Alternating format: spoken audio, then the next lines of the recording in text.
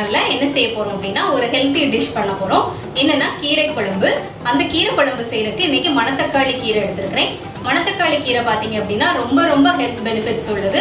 Especially ulcer problem குடல் புண் வாய் புண் அடிக்கடி வரக்கூடியவங்களுக்கு வந்து ரொம்பவே வந்து அது ஹீலிங் ப்ராப்பர்ட்டி உள்ள கீரை தான் அந்த மணத்தக்காளி கீரை. அந்த கீரையை வச்சு நம்ம இன்னைக்கு ஒரு குழம்பு எப்படி செய்யலாம்னு சொல்லி பார்க்கலாம். இந்த மணத்தக்காளி குழம்பு வைக்கிறதுக்கு நமக்கு ஒரு கட்டு மணத்தக்காளி கீரை வேணும். அந்த மணத்தக்காளி கீரையை நான் நல்லா கழுவிட்டு இப்படி வாஷ் பண்ணி கட் பண்ணி வச்சுருக்கிறேன். இந்த மணத்தக்காளி கீரையை நல்லா வாஷ் பண்ணிட்டு இந்த மாதிரி கட் பண்ணி வச்சுருக்கிறேன். இது செய்கிறதுக்கு நமக்கு ஒரு அரை கப் சிறு பருப்பு வேணும். பொங்கல் பருப்புன்னு சொல்லுவோம் பார்த்தீங்களா இது ஒரு அரை கப் ஒரு டேபிள் ஸ்பூன் மிளகு ஒரு டேபிள் ஸ்பூன் சோம்பு ஒரு டேபிள் ஸ்பூன் ஜீரகம் ஒரு அரை டீஸ்பூன் கடுகு இது பார்த்தீங்க அப்படின்னா வடகம்னு சொல்லி நமக்கு கடைகளில் கிடைக்கும். இந்த வடகம் இருந்துச்சு அப்படின்னா இந்த இதுக்கு நீங்கள் கடைசியாக தாளிச்சு போட்டிங்கன்னா ரொம்பவே நல்லாயிருக்கும். இல்லைன்னா நீங்கள் ஸ்கிப் பண்ணிடலாம். ஒரு கால் டீஸ்பூன் மஞ்சள் தூள் ஒரு அரை டீஸ்பூன் பெருங்காயத்தூள். அது பார்த்தீங்கன்னா நான் ரெண்டாக பிரித்து வச்சிருக்கிறேன். ஒன்று நம்ம பருப்பு வைக்கும்போது போடுறோம். இன்னும் கொஞ்சம் பெருங்காயத்தூள் வந்து நம்ம தாளிக்கும் போது போடுறோம். கொஞ்சம் கருவேப்பிலை. தேங்காய் பார்த்தீங்க அப்படின்னா ஒரு கால் மூடி தேங்காய் ஒரு பத்து பதினஞ்சு சின்ன வெங்காயம். இதில் ஒரு ரெண்டு மூணு நம்ம தாளிக்கும் போது கட் பண்ணி போடுறோம். மீதிய பருப்பு கூட வைக்கிறோம். பூண்டு மூணு பச்சை மிளகாய் நீங்கள் காரத்துக்கு ஏற்ற மாதிரி கூட்டிக்கலாம். ஒரு தக்காளி தேவையான அளவு மல்லி இலை உப்பு எண்ணெய். இப்போ நம்ம எப்படி செய்யலாம்னு சொல்லி பார்க்கலாம். ஃபர்ஸ்ட் நீங்கள் இந்த பருப்பை வந்து நல்லா வாஷ் பண்ணி எடுத்துக்கோங்க. ஃபர்ஸ்ட் நம்ம என்ன செய்ய போறோம்னா இந்த ஜீரகம் சோம்பு மிளகு பூண்டு தேங்காய் இது இவ்வளத்தையும் மிக்சியில நல்லா மையா தண்ணி ஊற்றி பேஸ்ட் மாதிரி அரைச்சு எடுத்து வச்சுக்கிற போறோம். இப்போ இப்படி ஒரு குக்கர் எடுத்துக்கோங்க. குக்கர்ல நம்ம கழுவி எடுத்த சிறுபருப்பை நம்ம ஆட் பண்ணிக்கலாம். இது கூட நம்ம எடுத்து வச்சிருக்கிற பச்சை மிளகாய் சின்ன வெங்காயம் மஞ்சள் தூள் பெருங்காயத்தூள்.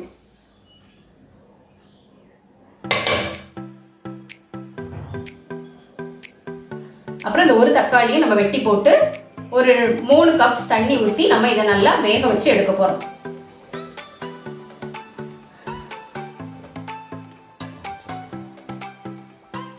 பாருங்க தக்காளி நம்ம கட் பண்ணி போட்டாச்சு. ஸோ இது இவ்வளோத்தையும் ஒரு மூணு விசிலுக்கு நல்லா நம்ம குக் பண்ணி எடுத்துக்கலாம். நீங்க இந்த சிறுபருப்பை கொஞ்சம் வறுத்து கூட நீங்க ஆட் பண்ணனா ஆட் பண்ணிக்கலாம். இப்போ நான் வந்து அப்படியே தான் ஆட் பண்ணுறேன் வறுக்கல. ஆனால் சிலர் வந்து வறுத்து போட்டால் இன்னும் மனமாக இருக்கும்னு சொல்லுவாங்க. நீங்கள் வறுத்து போடுறதுக்கு டைம் இருந்துச்சுன்னா நீங்கள் வறுத்து போட்டு ஆட் பண்ணிக்கலாம். இப்போ நம்ம மூடி வச்சு மூணு விசிலுக்கு குக் பண்ணிக்கலாம். இங்கே பாருங்கள் நல்லா மூணு விசில் வந்து ஸ்டீம் போயிடுச்சு ஓப்பன் பண்ணிடலாம்.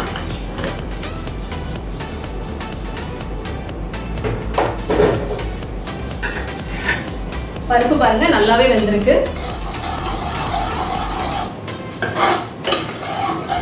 உங்களுக்கு பார்த்தாலே தெரியும் நல்லா மசிஞ்சு வந்திருக்கு. ஸோ இதில் நம்ம எடுத்து வச்சிருக்கிற கீரையை போட்டு நல்லா பாயில் பண்ண போகிறோம்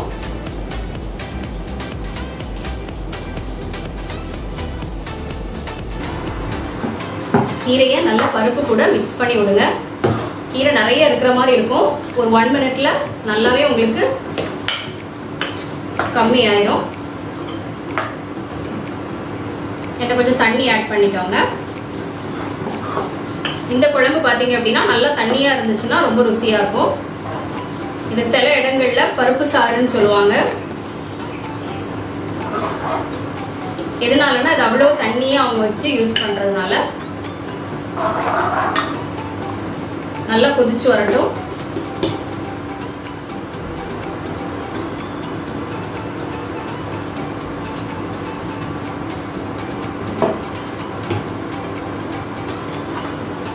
எப்பவுமே கீரை வேக வைக்கும்போது பாத்திரத்தை வந்து மூடி வச்சு வேகக்கூடாது. ஸோ திறந்து வச்சு தான் நம்ம குக் பண்ணணும்.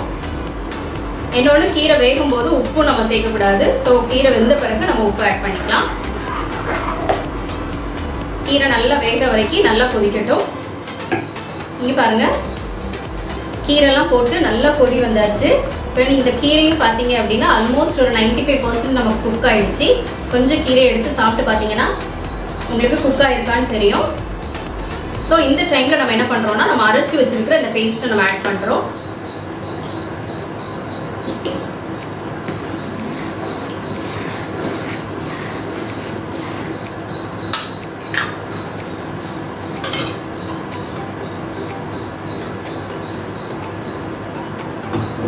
கொஞ்சம் தண்ணி விட்டு மிக்ஸி ஜாரில் மிக்ஸ் பண்ணி கழுவி ஊற்றிடுங்க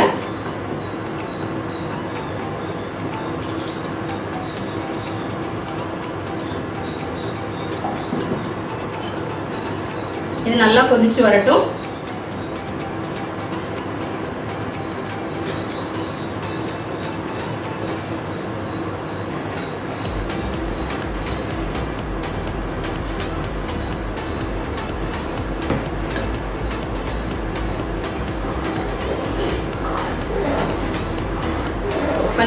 தேங்காய் இந்த விழுதெல்லாம் நம்ம அரைச்சதை போட்ட உடனேயே ஒரு நல்ல ஒரு மனம் வர ஆரம்பிச்சிருச்சு. ஸோ திரும்ப இன்னும் ரெண்டு மூணு நிமிஷம் நல்லா கொதிச்சு வரட்டு. இந்த டைமில் உப்பு ஆட் பண்ணிக்கோங்க.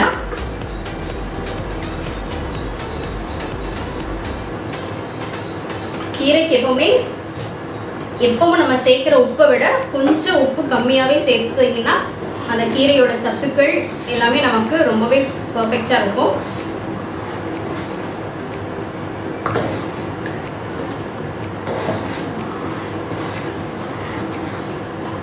நல்லா கொதிக்கட்டும். இது காரத்துக்கு நம்ம பச்சை மிளகாய் மூணு தான் சேர்த்துருக்கோம். ஆனா மிளகு வந்து நம்ம ஒரு டேபிள் ஸ்பூன் சேர்த்துருக்கறனால நமக்கு கீரை குழம்புக்கு தேவையான காரம் நமக்கு இருக்கு. பொதுவா பாத்தீங்கன்னா இந்த மாதிரி குழம்புகள் வந்து ரொம்ப காரமா நம்ம சாப்பிட மாட்டோம். ஸோ அதுக்கு போதுமானதா இருக்கு. உங்களுக்கு இன்னும் உங்களுக்கு காரம் தேவைன்னு நினைச்சீங்கன்னா நம்ம தாளிக்கும் போது ஒன்று ரெண்டு வத்தல் கூட நீங்க கிள்ளி போட்டு தாளிச்சுக்கலாம். இதை பார்த்தீங்க அப்படின்னா நீங்க கறியாவும் யூஸ் பண்ணலாம் அல்லது சூப்பாக கூட குடிக்கலாம். ரெண்டு விதத்துக்குமே ரொம்ப நல்லா இருக்கும் சாதத்தோட சாப்பிட்றதுக்கும் நல்லா இருக்கும் அல்லது சூப் மாதிரி கூட மணத்தக்காளி கீரை சூப்பா நீங்க குடிக்கலாம். ரொம்ப ரொம்ப ஆரோக்கியமானது. இதோட மருத்துவ குணங்கள்லாம் நமக்கு தெரிஞ்சிச்சு அப்படின்னா நம்ம எங்க பார்த்தாலும் இந்த கீரையை வாங்காம இருக்கவே மாட்டோம். குடல் புண் அல்சர் நோயினால பாதிக்கப்படுறவங்கலாம் இதை ரெகுலரா எடுத்துக்கிட்டீங்க அப்படின்னா உங்களுக்கு இயற்கையாகவே உங்களுடைய புண்கள் குடல் புண்கள்லாம் ஆறி ரொம்பவே ஆரோக்கியமா இருக்கலாம். இங்கே பாருங்க குழம்பு நல்லா கொதிச்சு ரெடி ஆயிடுச்சு. இப்போ நம்ம தாளிச்சிடலாம். இப்படி ஒரு பேன் வச்சு பேனில் கொஞ்சம் தேங்காய் எண்ணெய் ஆட் பண்ணிக்கோங்க. ஒரு ரெண்டு ஸ்பூன் எண்ணெய் ஆட் பண்ணியிருக்கிறேன் நீங்கள் தாளிக்கிறதுக்கு உங்களுக்கு காரம் இன்னும் வேணும்னு நினச்சிங்கன்னா வத்தல் ரெண்டு மூணு கிள்ளி போட்டுக்கோங்க. நான் எதுவும் ஆட் பண்ணல எனக்கு. இந்த வடகம் வந்து உங்களுக்கு குழம்பு வடகம்னு கடைகளில் கிடைக்கும். அப்படி இல்லைன்னா உள்ளி வடகம் எந்த வடகம்னாலும் ஓகே கடுகு ஆட் பண்ணிக்கோங்க. சின்ன வெங்காயம் ஆட் பண்ணிக்கலாம். இந்த வடகத்தையும் ஆட் பண்ணிக்கலாம். நல்லா ஃப்ரை பண்ணிட்டேன்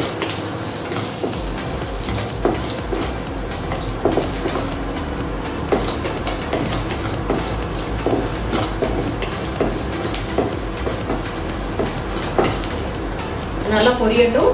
பெருங்காயத்தூள் தனியாக எடுத்து வச்சிருந்தோம் பார்த்தீங்களா அதையும் ஆட் பண்ணிடுங்க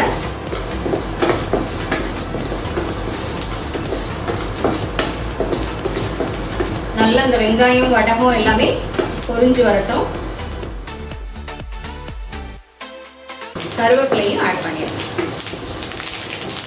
ஸோ இப்போ எப்படி நல்லா பொரிஞ்சு வந்து இந்த வடகம்லாம் நல்ல ஒரு மனம் வர ஆரம்பிச்ச உடனே நம்ம குக்கரில் இருக்கிற கீரை தண்ணியை நம்ம இதுக்குள்ளே ஆட் பண்ணிடலாம்.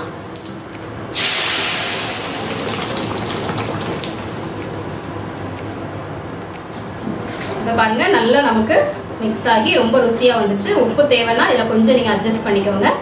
கரெக்டாக இருந்துச்சு அப்படின்னா வெட்டி வச்சிருக்கிற மல்லியிலையை தூவி நம்ம சர்வ் பண்ணிடலாம் இப்போ மணத்தக்காளி கீரை குழம்பு நமக்கு ரெடி ஆயிடுச்சு. இங்கே பாருங்கள் சுட சுட நமக்கு மணத்தக்காளி கீரை குழம்பு ரெடி ஆயிடுச்சு. ரொம்பவே சுலபமாக நீங்கள் செய்யக்கூடியதாக தான் இருக்கும். இதில் உள்ள இவ்வளவு ஆரோக்கிய குணங்கள் அதில் இருக்கிறதுனால கண்டிப்பாக வாரத்துக்கு ஒரு நாள் நீங்கள் வந்து கீரை சேர்க்கறது நல்லது. அதுலேயும் மணத்தக்காளி கீரை எங்கெல்லாம் கிடைக்குதோ எப்பெல்லாம் நீங்கள் பார்க்குறீங்களோ அப்பெல்லாம் வாங்கி இதை செய்து சாப்பிடுங்க. ரொம்பவே ஆரோக்கியமாக நம்ம வாழலாம்.